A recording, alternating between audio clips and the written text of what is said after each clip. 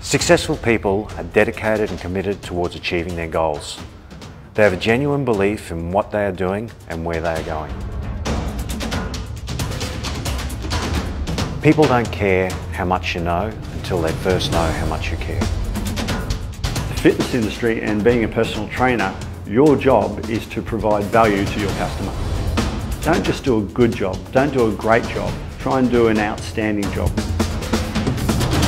There's 90% of Australians don't access any sort of health and fitness service, which gives us a massive area for growth to educate people, uh, and get out, find our niche, and then work hard in that niche to become better and better and better at it. I think it's an exciting time for people in the personal training industry.